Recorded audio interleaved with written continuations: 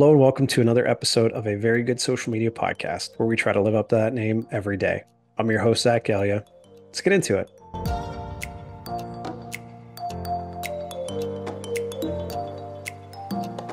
So today's episode uh, is one I've been looking forward to for a long time. Uh, guy who I've followed on LinkedIn for even longer um, and learned a lot from. But uh, Jacob Shipley, who's the head of social with uh, Benzinga, just someone who, if you've been on LinkedIn, you follow social media people, his name generally pops up. Um, and it's it's always great advice. It's always great insight.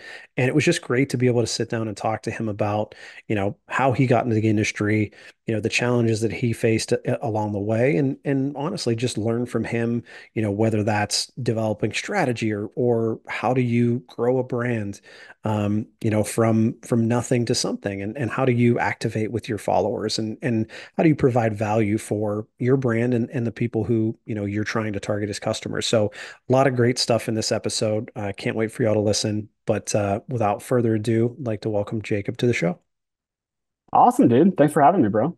Absolutely. Yeah, and it, it's it's funny like being able to finally sit down and talk to, you know, people who I've I've basically just met on LinkedIn and like followed for so long and like always look to you, look to a couple others on on the platform for advice and um, you know, about just anything and everything. So it's always nice to to put a face to the name and and get a time to chat.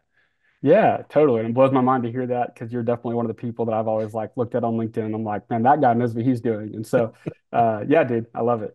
Well, at least I'm uh, I'm putting on a good face at least because I, I don't know if anyone knows everything what they're doing, but um, well, cool. Well, honestly, the the first thing I like to get into is just your journey, how you got to where you are, as, as far as you want to take it back, and um, and then kind of going over what you're up to today, and and uh, and and how it all kind of came to be. Yeah, sure. I I went to college at the University of Missouri. Uh, they're known for their journalism school, so I was at the journalism school. Pretty quickly realized like there's not a whole lot of money to be made in traditional journalism, so I studied advertising in the journalism school.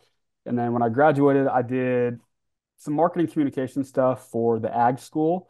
And that was an incredible job. Absolutely loved it working with like just cool people doing cool stuff and uh, had a blast. And my wife was still in college when we got married. And so we knew we didn't want to stay in Columbia. Uh, it was an awesome place to go to college, but not, I mean, we just wanted something new. You know, we were like 21, 22, just married. Like, let's get out of here. Let's go do something. And so I applied for like I mean, no exaggeration. I think it was 197 jobs just across the board, just like trying to like throw a bunch of dice and see where it landed. And I, over the course of like eight days, we had four interviews. And so we flew all over doing those interviews. And the one that stuck was in Oklahoma City doing social media for YouVersion, which is the Bible app. And it's owned by a local church based out of Edmond, Oklahoma, right outside Oklahoma City. And so I was their first social media hire. They'd had social media accounts, but nobody like just dedicated to YouVersion's social presence. And honestly, like I had no business even reading the job description, was wildly unqualified. Uh, but they brought me down, they interviewed me, and then we just like the cultural fit was there. And they really believe like we can teach people skills, but we just want people that are like on board with the mission. And so I spent two and a half years there, uh, really just learning from absolutely incredible people doing incredible stuff in the social media world. And I think that really framed how I think about social just because it was, I mean, we were part of a church and we're a, it was a nonprofit app that just gives everything away for free. And so we were all about just like providing value. We never sold anything. We never tried to get people. I mean, we did like fundraising stuff sometimes, but it was very like, it was just how can we just add value and make our followers' lives better? And so that was our only goal. And so for two and a half years, that's all I thought about it was like, how can we make our followers' lives better? And so as a result, our audience grew pretty quick. And uh, my wife and I got pregnant, and we quickly decided we'd really like to live near free babysitters. And so her parents had retired to Northwest Arkansas. So I started applying for jobs in the Northwest Arkansas area, landed a job with Tyson Foods. And I mean, nothing but great things to say about the, you know, my team was incredible. Um, I think it was it was a bit of a culture shift going from, you know, YouVersion. It was like you have an idea in the morning and it's live by lunch. You know, it was just very very fast paced, small team, startup kind of feel, very innovative. And then Tyson's obviously like a Fortune 100 company. And so just different pace, um, different processes that I wasn't used to. Learned a ton. Uh, and then as of about eight weeks ago, nine weeks ago, I took a role of head of social at Benzinga, which is a financial media company based out of Detroit. And so uh, I'm working on the social, uh, overall social strategy, vision for social media, and helping, you know, the channel owners kind of uh, execute day to day. That's awesome, man. Well, so many different things resonate with me in the, in that story. One being the free babysitters. I, I feel that in my soul. um, but uh, but basically, like when you're talking about you know applying for hundreds of jobs, like I remember going through that process. Like it was, um, I mean, first trying to get into the industry, and then once I had my job in NASCAR way back when, it was like I finally got my feet kind of underneath me and it was like, this is what I want to do. But then it was like, all right, now what? And I remember just application after application and interviews at different places. And it just was like, I had no necessarily idea where the next step was, but I was like, I was always looking and it was, it was so like not daunting, but just difficult knowing like you want to take that next step, but you didn't really know what that next step was.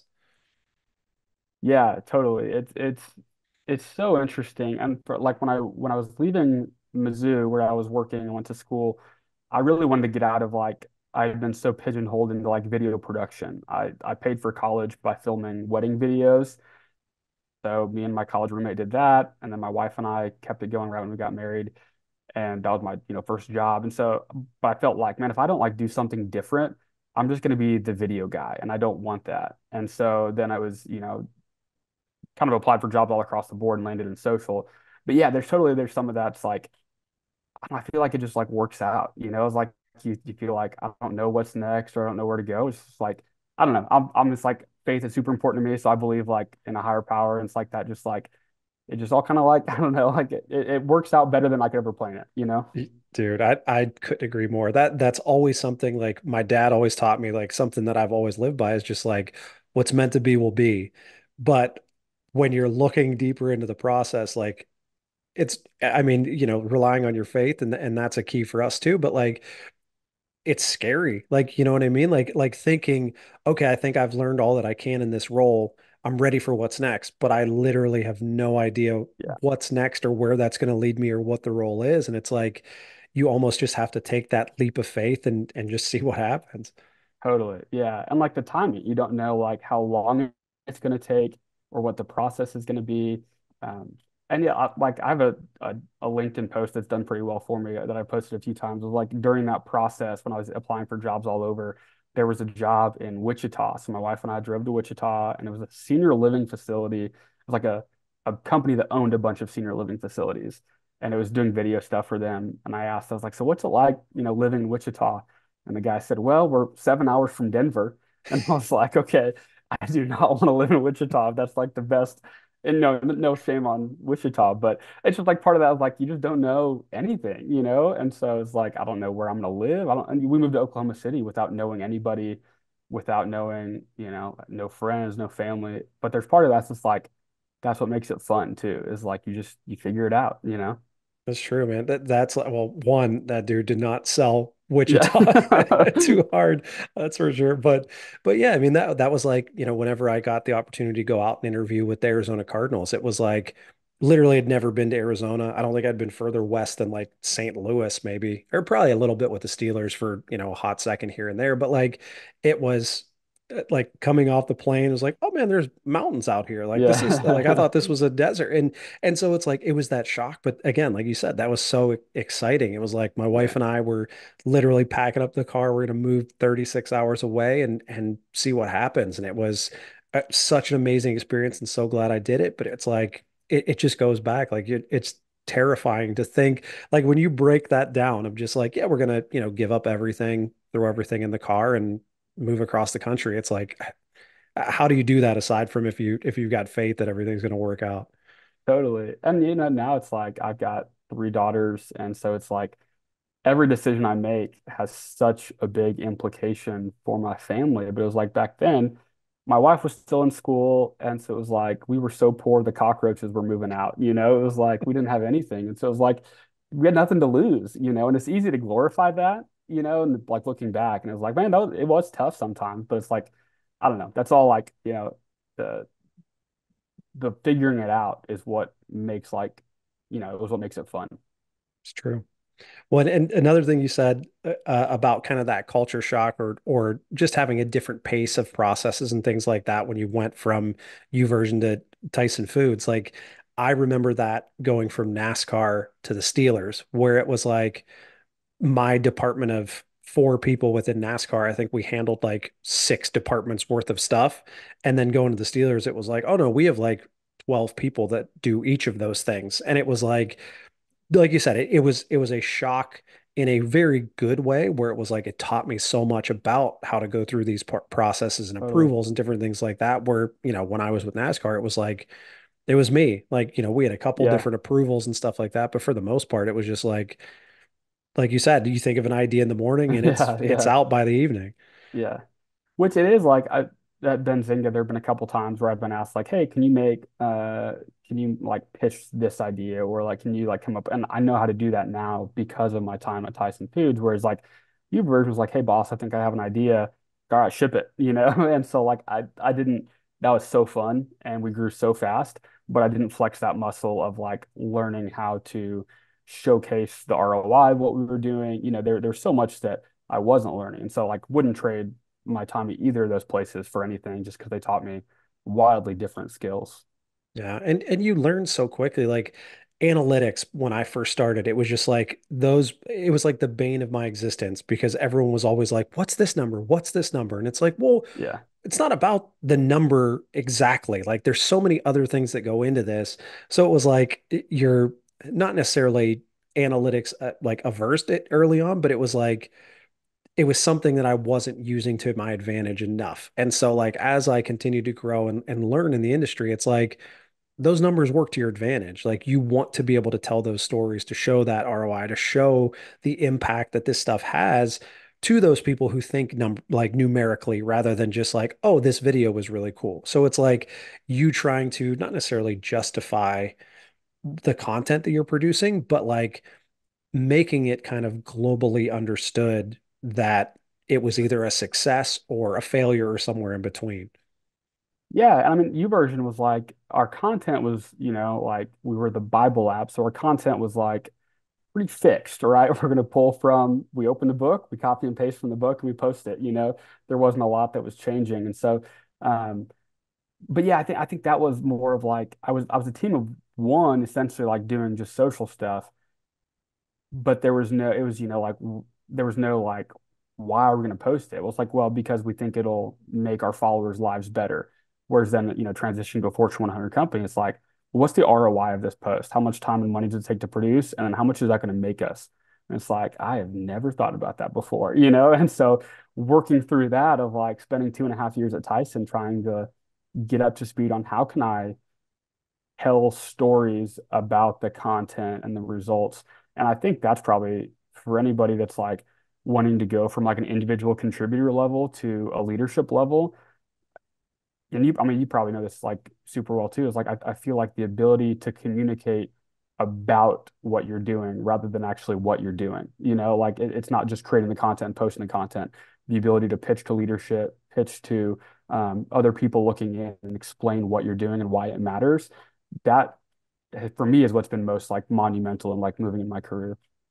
Well, and you bring up a good point. That's not really like that's not in the handbook of like here's what you need to know from social. It's like you're you're kind of trained of just always be on social, always see what's happening, think of good ideas, put them out, everyone's happy. But if there's so much more to that of like like you said in a leadership role, you're trying to not only kind of steer the ship, but also make sure that your team understands what the bigger goals are and and communicating from, you know, your leadership what those goals are and how we're going to achieve them. And then vice versa, once, you know, your team has kind of the goals in mind and understands, it's like then it's how do we relay this goofy TikTok video to, you know, the president of our company to make them understand that like, well, no, this isn't just you know, funny stuff, this is helping us achieve that bigger goal. And it's like that's something that, you know, it took me a while to learn too, but it's like that's such an like a, a not a slept on piece of it, but just something that doesn't get talked about a lot. Yeah, for sure. Like honestly, i, I you know, kind of talked about like how you just like it just works out, you know, of like I had no idea what the role at Tyson was going to be, and it wasn't what I thought it was going to be. And it taught me something like that, like wildly different, um, just because of the culture there is like there was a lot of like pitching and explaining, which like I didn't expect that at all. But because of that, yeah. So I feel like even then it wasn't like I didn't have a master plan. If I'm going to go to Tyson Foods and learn how to pitch and so that I can position myself well for leadership roles, it was just like that's where I found myself and I happened to figure that piece out. So yeah, it, it, it's funny how that stuff works out. For sure. Well, yeah, and I mean, and and two qualities like everyone always asks, like anytime I'm hiring or anyone who hits me up for advice and stuff, it's like what what are, you know, the most important qualities that, you know, not necessarily that I look for, but most important qualities to have in this industry. And like two of the ones I always bring up are organization and communication. And it's like that's definitely not the first thing that would come to mind when it's like you're looking for a social uh, a social spot, but it's like it's so important. Like if you could have the greatest ideas in the world, but if no one knows that they're happening or why they're happening or how they help achieve the goals, or you know, just the fact that how do you organize all of these thoughts into a way that then you can pitch to someone or organize these thoughts or this goofy idea into a way that then you can work with others in your team to make these things happen and then putting together your content calendar and what platforms they're hitting and what lengths and sizes and all this stuff like there's so much that goes into it that I mean even to this day like I'll, I'll talk to you know older family members or things like and it's like well what do you do it's like well I, I do social media it's like oh well that that must be pretty cool, like pretty easy. And it's like, well, not Yeah. exactly. Cool, yes. easy Yeah. I mean, you scroll Twitter all day, right? Yeah, Right. for sure. And I mean, like people always think working in social media is so sexy. And it, I mean, like, don't get me wrong, like, I, I love, you know, doing what I do. and I'm in financial media now, which is like totally new for me. And like you, especially, like people think working in social is sexy. Working in sports social is like that's like the end all be all. And so people think, oh yeah, you must be, yeah, buddy buddy with all the players, living the life, you know. And it's like, you know, the organization and communication is not like the sexy side of it. But yeah, I couldn't agree more. Like that's the stuff that like separates like good social media from, you know, phenomenal. Yeah. That, that's I always tell like anyone who asks is I, I like I always say, well, I, I work for the team. I don't actually play for the team. So Right. there's there's a little bit of a difference, but but no, I mean it it's always good to kind of take a step back and like, you know, I've talked about this before in, in a couple different episodes, but it's like you you get so stuck in the weeds and you know all the different things that you have to do and and all the insanity sometimes of of going through different things and you know, and then you lift your head up and look out your window and it's like, oh, you're at the ballpark, you're at, you know, this NFL stadium. Like Yeah, it it's there are definitely worse things you could be doing. And and you know, I, I grant at this point, I don't know what I would be doing aside from that Right.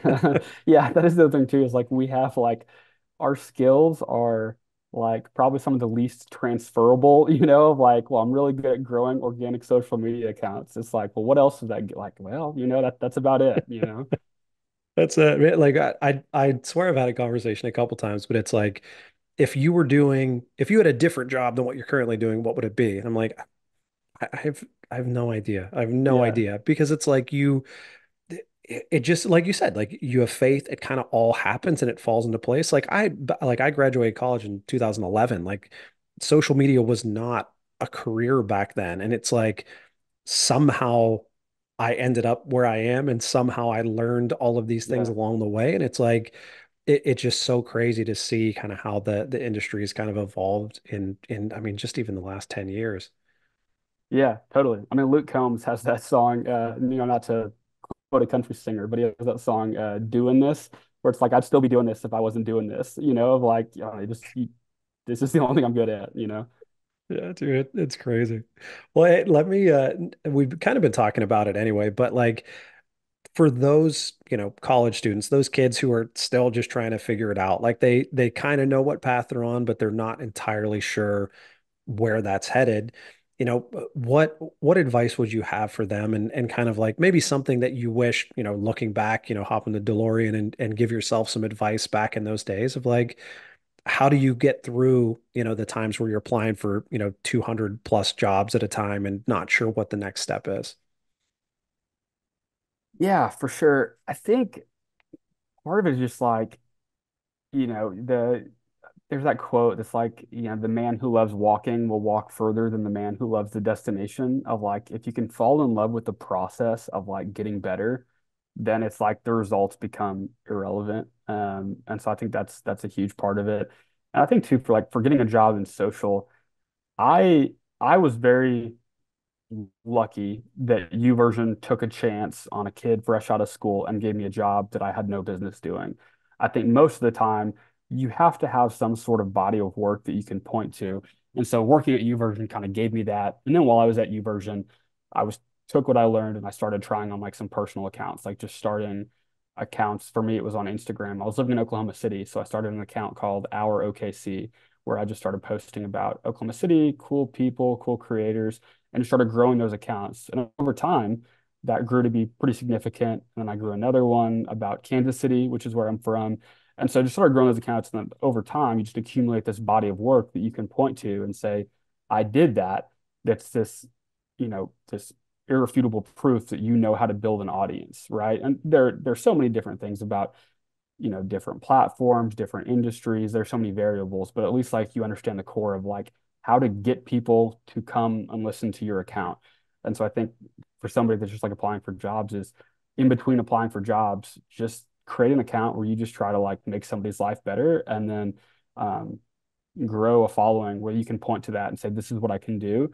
And I think that's, you know, that's a better seller than any resume.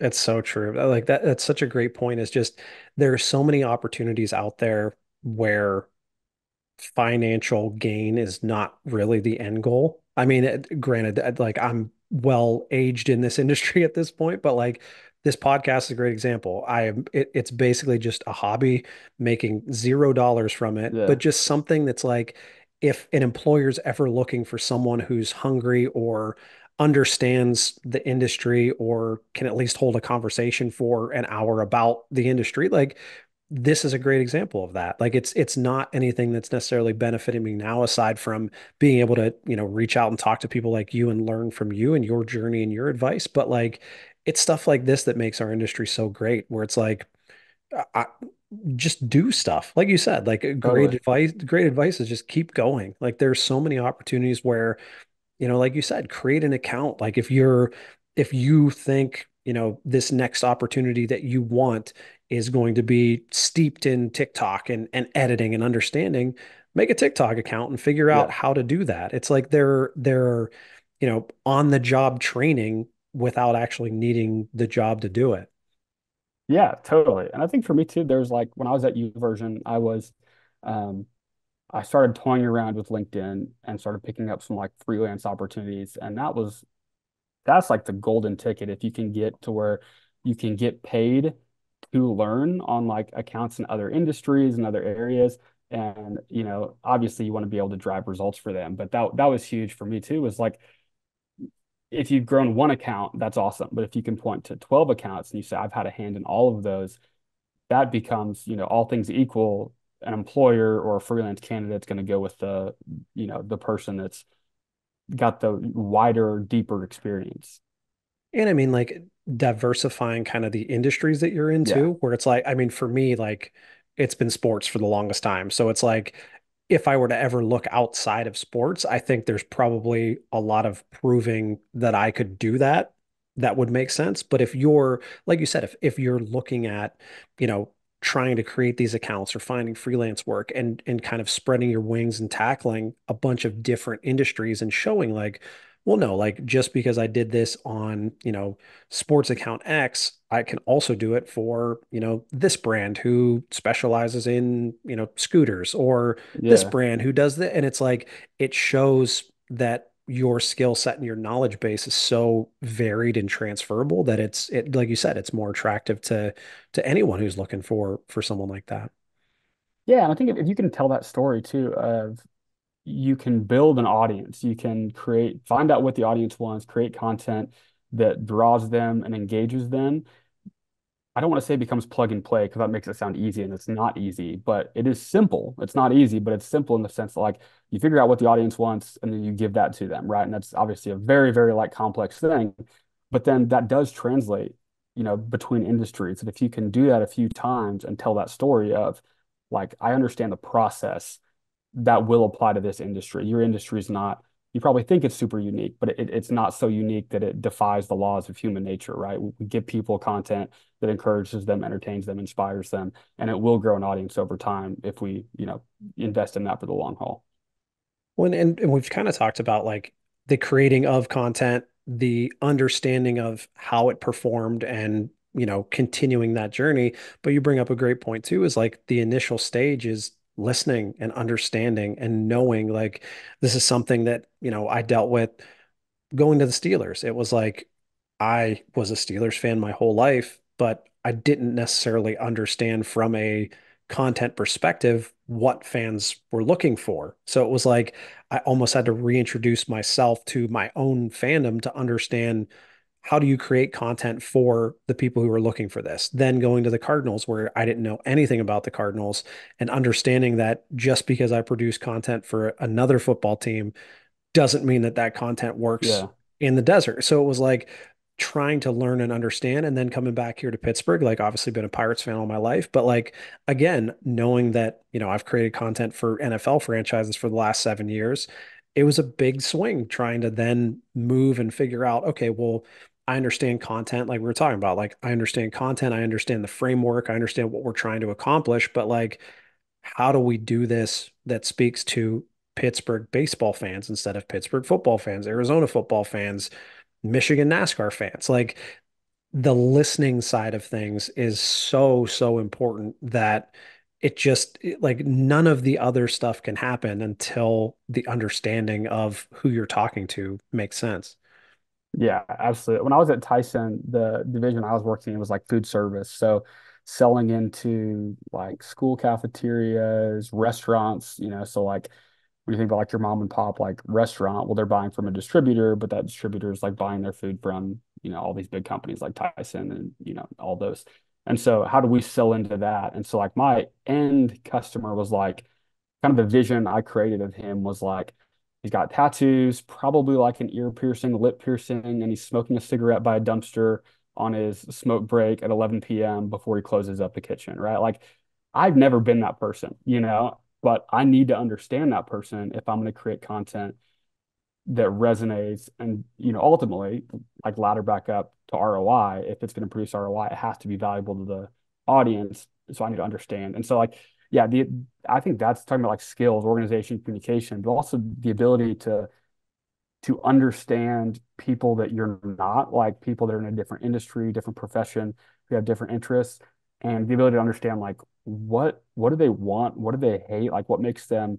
I was talking to Ish Verduzco, who's the social lead at A16Z Crypto, and he was telling me that when he started, he interviewed everybody on the team. It was like 90 people, and he asked him like, if A16Z Crypto was a person what would they say? How would they talk? What emojis would they use? What would be what would be cringe? Like what would like what would they not say? And so if you can go through that exercise and like really understand the brand and the customer, that's like, yeah, you're you're 90% of the way there.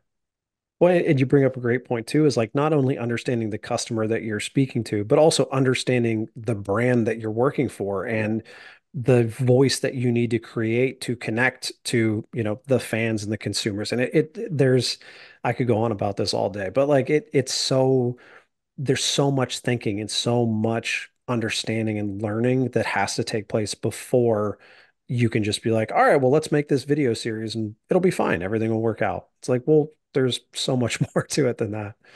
Yeah, and when you talk to about like the difference between like a content creator and like a social media professional like leader, I think you know, it's like I just want to create dope memes. Well, that's awesome. And that can really grow a following and that can create a really, really engaged community.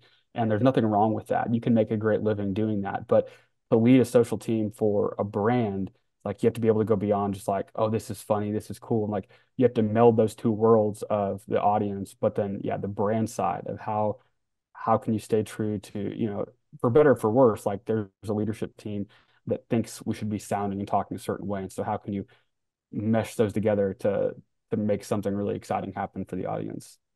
Well, and, and I always say like the two pieces for for content are it's it's the sizzle and it's the substance. So it's like you have those memes, you have those things that catch people's attention that you know grow the following that really like Yeah, make you a bigger part of kind of the global conversation. But once people are where you are and have found you and follow you, there has to be something more than just this shock value, fun, yeah, goofy stuff. Like there has to be some substance of like, okay, they have my attention, but like why do I care now? And so that's again like that that fine line and fine balance of like gaining attention and gaining that notoriety, but then holding that audience and making sure that it's just, you know, they're not just looking for these memes and this shock value. It's like there's so much more to it.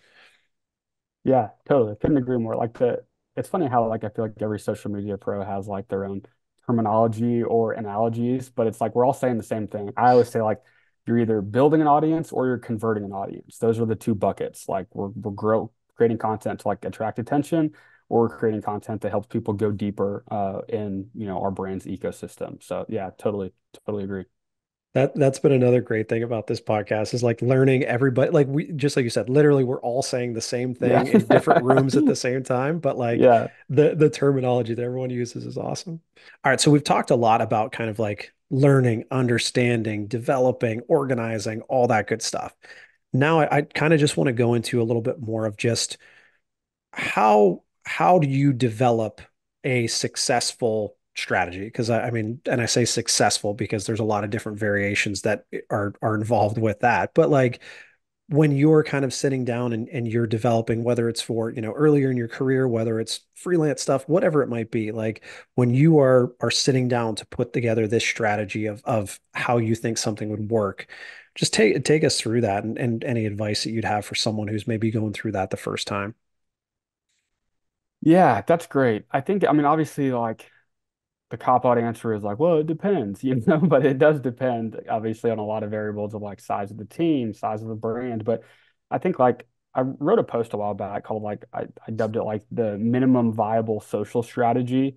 And so kind of like boiled down is like there are a finite different like number of types of content. You've got platforms that prioritize text-based content, platforms that prioritize less and less so like image-based content, but now it's more like short-form content. And then YouTube is obviously like, you know, long-form content and I, throw podcasts in there. And so picking when most people hear that, they they start to think my brand probably fits in this bucket or that bucket. Are you sitting on loads and loads of blogs? Are you or does your CEO have a podcast that's got like just a treasure trove of video content? So I'm trying to figure out like what content do you have? What content can you sustainably create?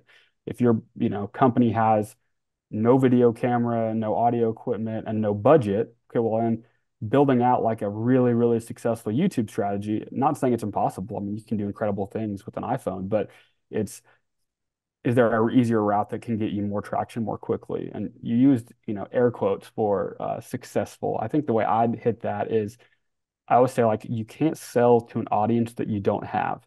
So if you don't have an audience, you're definitely not going to sell. If you do have an audience, you still might not sell, but at least you can because you have people to sell to. So I, I mean, I say successful is like, can you grow a following of people that want to hear what you have to say? You have to be able to pitch them and have a product that they want to buy or, you know, a service or, you know, that, that doesn't completely solve the problem, but, you know, life is easier on social when you have a big audience. And so, yeah, so picking what is a, um, a platform and then picking like I think I called it like your ride or die platform. So like is it everything I'm gonna, you know, live and die by Instagram, you know, TikTok, like what's your even if you create short form video, there's a difference between short form video that's optimized for YouTube Shorts versus Reels, even Instagram Reels versus Facebook Reels versus YouTube Shorts. So what's your ride or die platform? This is the platform that you are going like all in on. For me, like my personal brand is like LinkedIn. That's like I'm optimizing everything for LinkedIn. Um, now I cross post a lot of that to Twitter. And so that's like that next step of like you're creating content. I say it's like a sustainable volume of content. People say like, how much content should I create? As much as you possibly can for a long period of time. Like don't do 10 posts a day and then fizzle out for three days. Like, but you also don't want to do once a month, you know, like you need to be like a high volume that is sustainable. And then so use that type of content let's say it's like LinkedIn. So you're posting on LinkedIn. Um, that's your ride or die. You're optimizing for that. But then are there other places you can put it? Like, yeah, you can copy and paste and put it on Twitter. You can put it on Facebook. You could do some automation and put it on an image and post it to Instagram. You could do like a, a background and create a reel out of it. Is that going to be the best performing Instagram reel or YouTube short possible? No, but at least you're putting out content there from the content you already have. And so that's what it's like minimum viable strategy. That's like if I was working for a small company, limited budget, and said like go do social. That that's kind of how I'd start thinking about it. Uh, there, oh man, so so much in there. Again, I, I so much appreciate it. Um, I love like you can't sell to an audience you don't have. That's Totally. that makes so much sense. But yeah, I mean, like I, I just had a conversation the other day with with someone overseas who manages, you know, uh, you know, I think it's a basketball team, but like it, it's very much like the focus was very much on limitations and things that couldn't be done and things that you know, weren't happening. And it's like something that I always preach is like, instead of focusing on what you can't do, focus on what you can do and try and be the best that you can be at that. You know, like use use your limitations almost as opportunities to Yeah. showcase your superpower, whatever that might be. And it, it kind of goes into what you were saying. Yeah, the the senior pastor of Life Church, the church where I worked and attend now, is his name's Craig Groeschel, and he has this quote. He says, uh, "Growth creates complexity. Complexity kills growth." And I just love that because it's like the bigger you get, the bigger the team gets, the more complex it gets, and then you notice everything kind of slows down. And so from then, it's just a fight to like get back to like the volume and the pace that you once were. Um, and he also has a phrase that I love. He says, like, think inside the box. He said, whenever somebody says, like, think outside the box, the next thing they say is like stupid on steroids. You know, it's like, okay, like, let's come back in. It's like based on the box you're in, the constraints that you have, what can you do with what you have? Like, yeah, you can think outside the box and like, but like, it, focus on like what, eh, with your parameters, where you're at, what you're doing, how can you excel with what what you have? And I love that mindset, that frame of, you know, of reference. It's true. And, and I mean, like, it, no matter whether you work in Major League Baseball or the NBA or, you know, the Premier League in in England and soccer, like or you know a rugby league in New Zealand, like no matter where you are, there's always going to be teams that are better equipped or have better mm-hmm. like better stuff, more people. Like it, it doesn't matter across the board, but that doesn't mean that they can have more of an impact than you can just because they have more resources. Like that again, it's probably something my my mom and dad taught me way back when, but it's like you have to you have to focus on what you can control and focus on what's in front of you and and what you have at your disposal to make good things happen. And like you know what uh what did you say earlier? Uh like all about providing value to you know your your followers your fans. Like how can you do that with the tools that you have at your disposal? And like again it's you know it doesn't make i mean i'm sure it makes the job probably a little bit easier but it's like if you have a billion people and all the equipment in the world and everything that you need like there's still going to be challenges. Like there's totally. still like that team's not going to communicate probably as well as the smaller team. Like Yeah, that that team is probably not going to be able to mobilize and capture something quickly and turn it around, you know, in a way that would benefit social media. So it's like there's always going to be challenges, but whatever is in front of you, like how can you use that and make that your your superpower? And how can you take whatever you're doing to kind of achieve that end goal that you have in providing value for for your followers.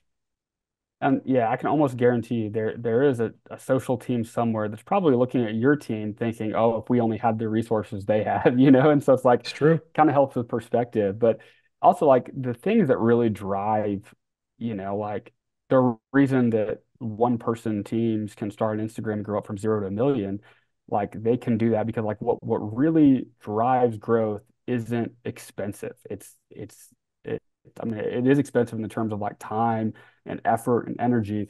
But it's like, you know, community management, you know, talking to your audience and your fans, that's free. You don't need a hundred thousand dollar a year software to do that. You don't need a photographer, a videographer, a copywriter, a graphic designer. You know, you just need like a person who cares about their audience. And so I, I for a long time I thought community management was a really incredible tool from going from zero to a thousand and maybe even a thousand to ten thousand.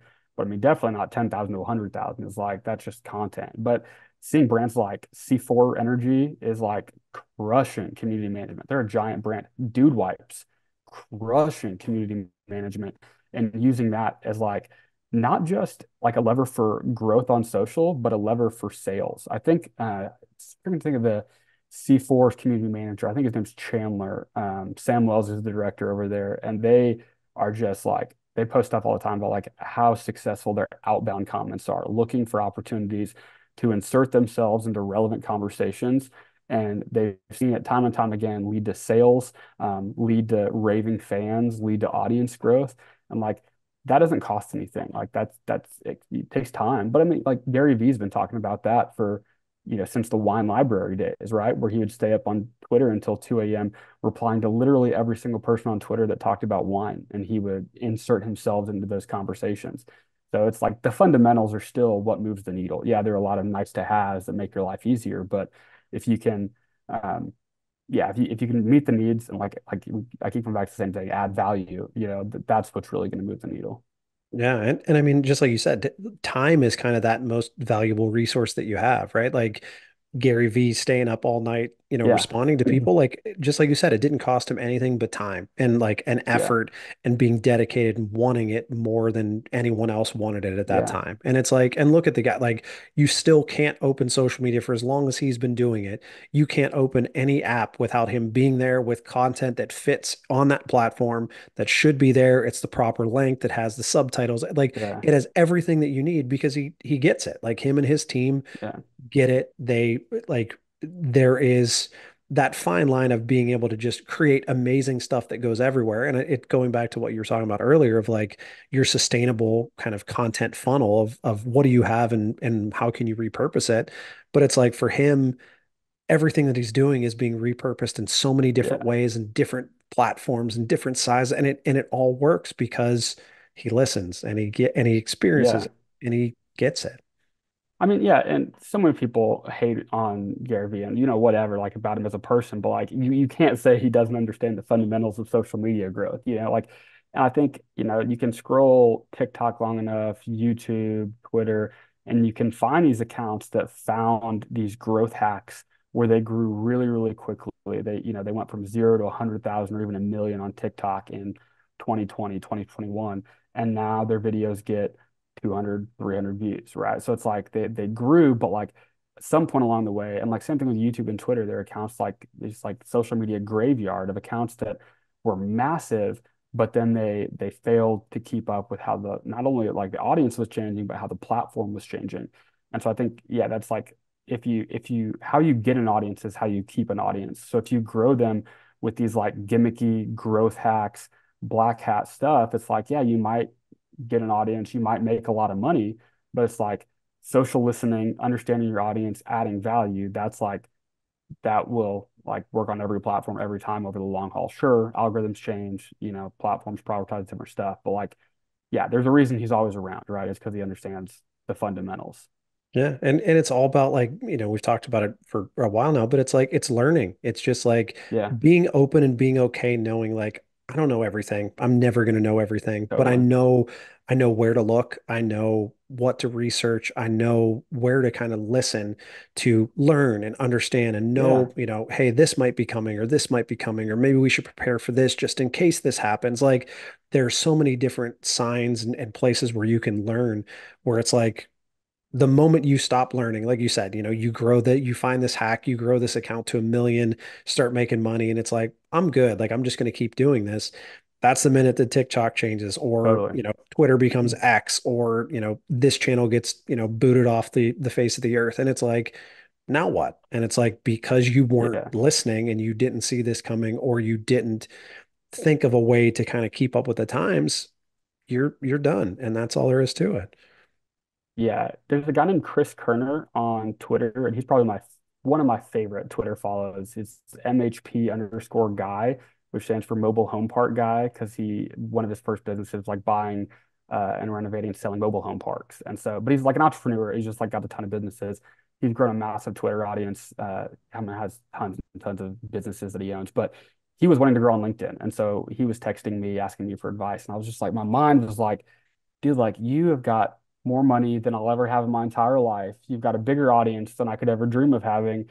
And he's asking me, like, I don't have a clue what I'm doing, dude. And he's asking me, like, how did you grow on LinkedIn? What do you think of this? What do you think of that? But it's like, you're right. The people that are growing and keeping their following and like, you know, spreading, like, eh, they're the ones that are like they'll learn from anybody like they'll learn from me you know like i have no idea what i'm doing but like he was asking me like and so like, to me that was just like so mind-blowing it's like i know nothing like i can learn from literally anybody and honestly like you probably have more to learn from some of those people that are like the 20 year old guy that was just creating TikToks of his football team. You know, I don't know, just like stuff like that. So it's like he probably has an insight into the algorithm that you haven't thought of when you're running a massive brand page.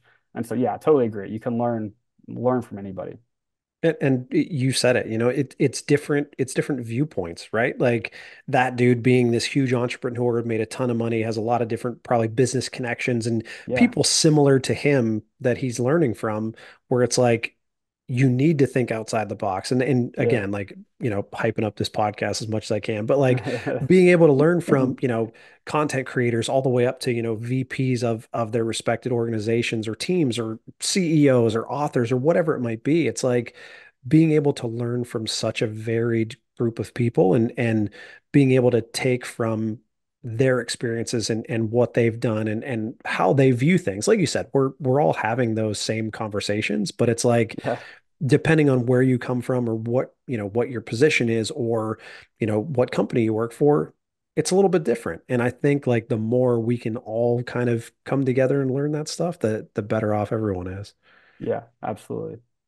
Well, cool. Well, last thing I want to ask, and and this is another thing I like to go into, is just kind of like the the process when you come up with this, you know, whatever the idea might be, how do you take that idea from, you know, in your head to on paper to we are now activating it, here are the goals we're trying to achieve, and you get it all the way to the finish line, and now, you know, human beings are consuming this on whatever platform. You know, maybe just take me through a project that, you know, means a lot to you or or one that that you're really proud of. Yeah, I think it, it differs a little bit when it's just like your personal brand versus a brand account. Because obviously, if there's a brand account, there there are more layers of like communication, buy-in, pitching, ROI, like that kind of thing. So exclude that, pretend that doesn't exist, just like the the process of like idea to, to execution. I think one thing that like I'm really proud of, not um, anything like I did, but a, a YouVersion, like we were, this was 2020-ish. Um, and TikTok at the time was like girls in their underwear lip syncing, right? I mean, it was not like what it is now, like where it's ubiquitous of like, you know, Gen X moms or, you know, living on TikTok. It was very different. And so we are like, man, we're the Bible app. We shouldn't be like, and this is me, not YouVersion saying this, but like, we're the Bible app. Like, we shouldn't be on TikTok. And I was kind of like pressed on by a few different people who are like, well, like, we're the Bible app. Like, shouldn't, isn't that where we should be? You know, of like, if there's like content that's like not helping people, shouldn't we throw in some content that is helping people? And it's like, whoa, like, yeah, we absolutely should be. Um, and so that was really, really um, kind of pushed me to change how like how I think about that. And so then we just started creating content and how can we, again, just going back to the fundamentals of how can we just make our audience, how can we make their lives better? How can we help them? Um, obviously, like we do that through the lens of, you know, the Bible, because that was our brand identity. And so how can we do that? And this was like the golden era of TikTok where you could, you posted half decent content, you could grow very quickly. There wasn't TikTok shop. There, I mean, it wasn't oversaturated. And so we grew from like zero to 300,000 followers in six months um, just by creating, you know, and people was like, well, what do you do? I was like, well, we posted good content multiple times a day, every day for six months. It's not that I I wish it was like a simple formula like that now, but it was like a lot of times, too. if you can catch some of those like, you know, Facebook back in like what, 20, 2009 maybe, you know, like if you can get in at the right time, there's definitely a first mover advantage to some of that. But that was um that was something I was really proud of, just like how we how I shifted my mindset. And I was like, really like I was thinking the wrong way about social is like these platforms aren't good or bad, right? They're morally neutral. It's like it's how you use them to either add value or detract value from people's lives. It's true. That that that's such a good point, man. Like it, it's there's so much negativity on any platform you go Yeah, on. Some prob some more than others, but like but it's mm-hmm. just like you said, going back to that, making an impact and and standing by what your brand believes in or, or the company you're working for and and leaning into that and really bringing it to light no matter what the platform is trying to you know shine a little light and bring a little positivity to you know any stretch of this world is is definitely Yeah, worth worthwhile totally, totally. well cool well all right well I, I can't thank you enough for doing this. This was so awesome. It was great to finally get a chance to chat for a bit. But Yeah, um, I got a, a few quick hitters to to shut us down, and uh, and I'll, I'll I'll let you free. Cool, man. Love it. Cool. Well, answer these as quickly, as slowly, whatever, you, however you want to Okay. answer them. You can like we can rapid fire them, or you know you can take a little time and talk about each one, however you want to do it. Um, but first question would be, what's your least favorite industry buzzword? Uh, align. Uh, I'm aligned to that, or you know, like that. That drives me bonkers, dude. That's a good one. Um, if you could only follow one account on any platform, brand or otherwise, what account would that be? I dropped his name earlier, but it's it's probably Chris Koerner on Twitter, just because like he posts these like his content is like business ideas, but it, it really like I've noticed like when I consume his content, it shapes like not just like what I'm thinking about, but like how I'm thinking. And so his content is is incredible. I love that. Uh, Parks and Rec or The Office? Uh, The Office. Nice. Uh, what is your favorite Taylor Swift song? Oh geez. Um, something classic. Uh, Love Story. Yeah, let's go Love Nice. Story. I like it. Uh, Friends or Seinfeld? Uh, ooh, Friends. Nice. Uh, Cool Ranch or Nacho Cheese? Ah, ooh, okay. So David Novak, who uh, was the CEO of uh, he was CEO of Yum Brands, but he was also at PepsiCo before that.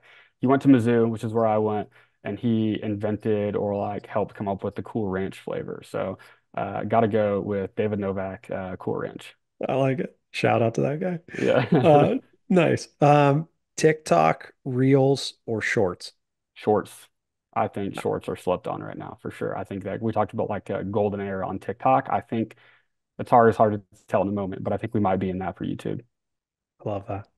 Uh, Google Plus or IGTV? Uh, uh, Google Plus. Nice. Vine or MySpace? Dude, these questions are awesome. I love these. Uh, uh, I'm a little young for MySpace. So I think it was like it was leaving when I was coming up. So, uh, but Vine was big. So I'll go with Vine. Yeah, it- MySpace was like the first of uh, like what I remember, but like there was nothing like Vine. Like that it just Yeah. like that was that was TikTok before TikTok and it was Yeah. like you Yeah, you could just spend hours on there. I love that platform. It it was like almost before its time. You know, it's like Yeah. that's like it was a little early, but it's yeah, it was it was awesome. Uh all right, and last one would be uh rate the finale of Game of Thrones 1 to 10. I I have never seen a single Oh man. episode of Game of Thrones, my dude. So uh, I don't know, we'll go five. I don't know. I, honestly, I think that's that's a pretty fair rating. I think that's pretty Okay, solid. cool. But honestly, it, it's crazy like this global phenomenon. And I caught on to Game of Thrones late. Like I think I watched maybe the last two seasons live with like the rest of the world. But like it's one of those things where like The Office is a similar thing where it's like Yeah, you assume that every social person at work yeah, because like there's always Game of Thrones. Like when that show was on, there was so much on social at oh, all totally. times. And so it's funny. I would say out of kind of like I think the 15 conversations I've had so far, there's probably eight to 10 uh, who have never seen Game of Thrones. And it's like it's just blowing my mind. It's it's amazing. I was on a date with my wife at Gumby's Pizza in Columbia, Missouri, when the Game of Thrones finale was on. And so there were people, apparently Gumby's Pizza was a hot spot to watch Game of Thrones, but there were a ton of people in there watching it. And I think we were probably the only people in there that like, like what is going on? And so I, I saw it on in the background, but I, yeah, I can't say I've, I've ever paid any attention to it. No, that's good. I, I think five. I think five's fair. I think that's a fair All right, all right, sweet. Well, cool. Well, honestly, I I can't thank you enough for doing this. Um, you know, any chance I get to to pick your brain, I'm I'm I promise I'm going to do so. But um, I, I again, I can't thank you enough. Dude, this was incredible. I had so much fun. This was uh this was a blast, dude. Appreciate it. Well, uh, thank you everyone for listening. Uh, it's another episode of a very good social media podcast where we try to live up to that name every day, and we will see you again soon.